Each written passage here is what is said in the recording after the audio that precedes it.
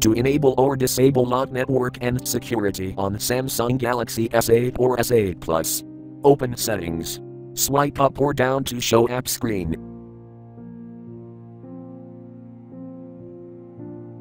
Tap settings.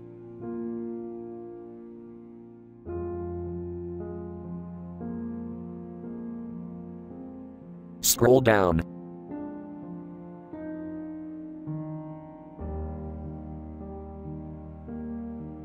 Tap lock screen and security.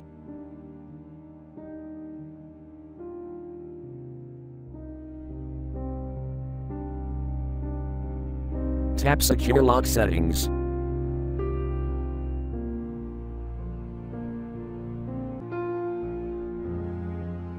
Tap lock network and security switch until blue to enable, or tap until gray to disable.